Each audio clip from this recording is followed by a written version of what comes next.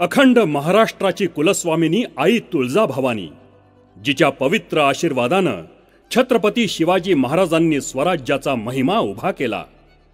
मराठवाडा मुक्ती संग्रामासाठी लोक प्राणपणाने लढले हौतात्म्य पत्करलं. त्याच लढवय्या मराठवाड्याच्या भूमीतला संघर्ष आपल्या उराशी बाळगून समाजहिताच्या स्वप्नपूर्तीसाठी अहोरात्र झटणारं घराणं म्हणजेच राजे निंबाळकर घराणं. मी ओमप्रकाश गोपाल सिंह उर्फ पवनराजे निंबाळकर. ईश्वरा स्मरून शपथ घेतो की रक्तरंजित आणि घातपाताच्या कपटी राजकारणात स्वर्गवासी पवन राजे निंबाळकरांचा मृत्यू झाला.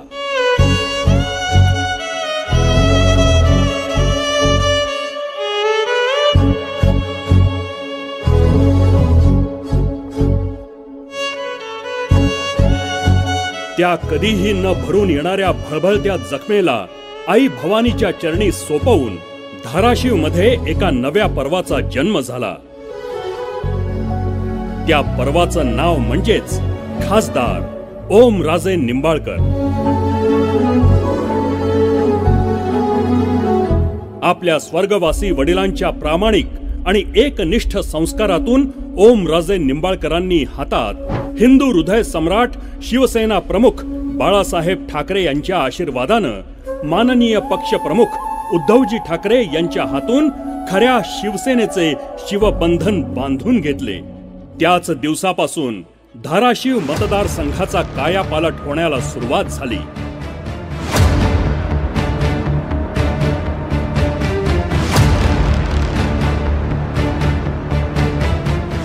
आणि धाराशिवचा हा मुलुख मैदानी आवाज संसदेत पोहोचला. आपले रेल्वे राज्यमंत्री आता परवा दिवशीच त्या ठिकाणी आई तुळजाभवानीचा आशीर्वाद घेण्यासाठी तुळजापूरला येत आहेत. पण साहेब मला आपल्याला आठवण करून द्यायची आहे की जर तो रेल्वे मार्ग पूर्ण झाला असता तर आपल्याला डायरेक्टली रेल्वेनंच तुळजापूरला येता आलं असतं. धाराशिव मतदारसंघाचे प्रतिनिधित्व करताना ओम राजे यांनी आपल्या संसदीय आयुधांचा भेदक वापर करून जनसामान्यांच्या हक्कांचा आवाज उठवला. दोन हजार वीस साली जेव्हा सरकारनं कृषी उत्पादन व्यापार वाणिज्य विधेयक आणून शेतकऱ्यांचे नुकसान करण्याचा प्रयत्न केला तेव्हा ओम दादांनीच किमान हमीभाव बंधनकारक असावा ही मागणी संसदेत केली. तुम्हाला बहुतेक विकास पाहिजे. अरे पण जी शेतकरी पाण्यासाठी तडफडतोय आत्महत्या करतो त्या शेतकऱ्यासाठी शाश्वत पाणी आणि शाश्वत वीज आणि त्याला उत्पादन खर्चावर आधारित हमी भाव का येणार नाही या देशाचा अन्नदाता शेतकरी अहोरात्र कष्ट करून रक्ताचं पाणी करून राबतो.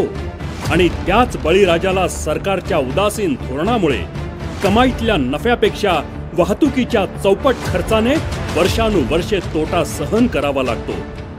या जीव घेण्या चक्राला तोडण्यासाठी शेतकऱ्यांना वाहतूक अनुदान मिळावं यासाठी ओम राजेंनी संसदेत आवाज उठवला.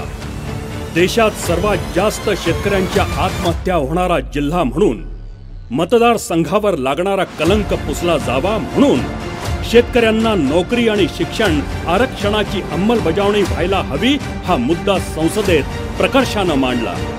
शेती फायद्याची करण्याच्या दृष्टीनं त्या शेतकऱ्याला अधिक लाभ होण्याच्या दृष्टीनं त्या शेतकऱ्याला मुख्य प्रवाहात आणण्याच्या दृष्टीनं माझी आग्रहाची मागणी की त्याच्या कुटुंबातील व्यक्तीला शिक्षणामध्ये आणि नोकरीमध्ये सुद्धा आरक्षणाची तरतूद अध्यक्ष महोदय त्या ठिकाणी असते शेतकऱ्यांच्या विकासाचा अनुशय भरून काढला तरच जिल्ह्याच्या विकासात भर होईल. ही बाब ओम राजे यांनी संसदेत कायम लावून धरली. कांदा खाणारा कधी आत्महत्या करत नाही पण पिकवणारा का करतो? या प्रश्नाने ओम राजेंनी संसदेला सुन्न करून ठेवले. कांदा निर्यात बंदी असो किंवा द्राक्ष उत्पादक शेतकऱ्यांच्या अडचणी. ओम राजे यांनी शेतकऱ्यांची बाजू आपल्या मराठी भाषेत आणि करारी बाण्यानं सतत मांडली आहे. मराठा धनगर मुस्लिम लिंगायत समाजाला आरक्षण मिळावं आणि आरक्षणाची मर्यादा वाढवावी म्हणून कशी अभ्यासपूर्ण रचना असायला हवी याची मांडणी करून सत्तेच्या नशेत असणाऱ्या सरकारला जाग करण्यासाठी कायम पाठपुरावा केला आहे. तुळजापूर तीर्थक्षेत्राचा कायापालट व्हावा आणि वर्षभरात जवळपास पंचेचाळीस लाखाच्या वर येणाऱ्या राज्यातील आणि परराज्यातील भाविकांना सर्वोत्तम दर्जाच्या सुखसुविधा मिळाव्यात तसेच तालुका स्तरावर रोजगार निर्मितीची कायमस्वरूपी योजना आखण्यात यावी यासाठी संसदेत पाठपुरावा केला आहे. पुणे धाराशिव लातूर इंटरसिटी रेल्वे लवकरात लवकर सुरू व्हावी. उस्मानाबाद लातूर अशी एक इंटरसिटी रेल्वे गाडी त्या ठिकाणी चालू करावी.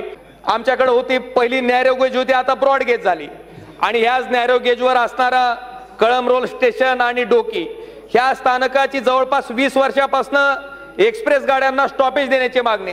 वीस वर्षापासून ती लोक आंदोलन करतायत रेल रोको करतायत सगळे आंदोलन त्या ठिकाणी करून झाली.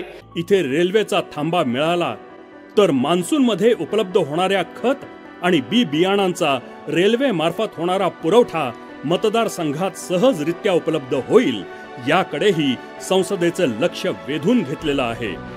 तसंच भुसावळ डिव्हिजनकडून होणारे काम पुणे डिव्हिजनकडे हस्तांतरित व्हावे याचाही पाठपुरावा केला आहे. मतदारसंघाचा आणि मतदारसंघाच्या विकासासाठी तळागाळातल्या प्रत्येक सर्वसामान्य माणसासाठी चोवीस तास उपलब्ध असणारा नेता लेकी बाळींच्या सुरक्षेसाठी आवाज उठवणारा नेता कोविड महामारीत राज्यातील दुसरा ऑक्सिजन प्लांट उभा करणारा नेता नैसर्गिक आपत्तीत उभारी देणारा नेता वृद्ध निराधार आणि अपंगांचे अर्थसहाय्य एक हजारावरून पाच हजार करावे म्हणून आवाज उठवणारा नेता. अपंगांसाठी इलेक्ट्रिक व्हेकलचे मोफत वाटप करणारा नेता. अनेक होतकरू विद्यार्थी आणि खेळाडूंचे पालकत्व स्वीकारणारा नेता. राष्ट्रीय महामार्गाचा प्रलंबित प्रश्न मार्गी लावणारा नेता. सुरत चेन्नई ग्रीन कॉरिडॉर जिल्ह्यातून वळविण्याकरिता प्रयत्न करून यश मिळवणारा नेता. ही भूसंपादन प्रक्रिया त्या ठिकाणी थेट खरेदीच्या माध्यमातून केली जावी.